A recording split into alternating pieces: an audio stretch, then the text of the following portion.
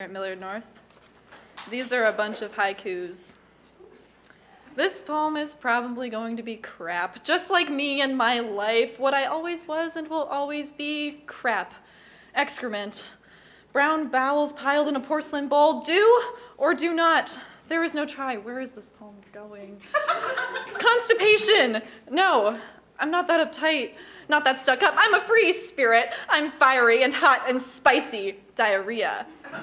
Haiku is about diarrhea, but first, what is a haiku? It has five, seven, then five syllables in each, has a natural theme. I prefer human nature, the gross side of life. Five, seven, then five. Count the moments between growls in my churning guts. What if it's too much, wondering if I can hold all of it inside or if it'll be too late to make it to the bathroom to hide. Diarrhea. like a bullet from a gun shoots out of my bum. My diarrhea, it's got me feeling icky. Pants brown and sticky. Trickling down my leg, it's rather hot and runny. Chunky scrambled eggs, it's almost funny how diarrhea owns me. The runs run my life. soul. These haikus are taking shape, are almost a poem. I wish my wet poops would take note and take a shape other than a splat. Squish, splish, slurp, drip, drop. No, no, no, no. Why, why do you do this to me? I just ate ice cream, thought about eating pizza. One slice couldn't hurt. Dairy rips its way through my fragile intestines, breaks my will to live, breaks plumbing systems, and the toilet paper runs out.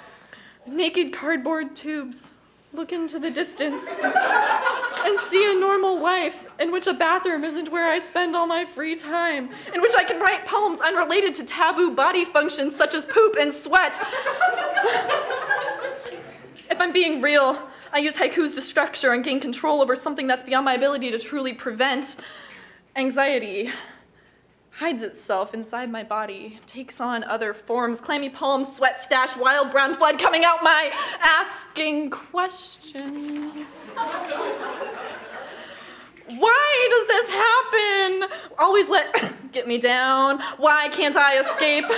People tell me I always look put together. I'm falling apart. Diarrhea tells me when I push too far, when my self-esteem can't take anymore, my body just gets rid of everything inside, compensating for emotional emptiness with physical space. Diarrhea chills, knowing my body loads, hates, wants to starve itself, nutrient deprived, shaking, trembling, giving into subconscious hate, my diarrhea.